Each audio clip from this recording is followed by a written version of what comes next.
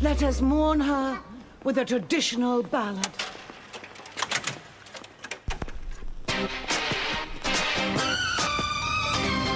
Baby, can't you see?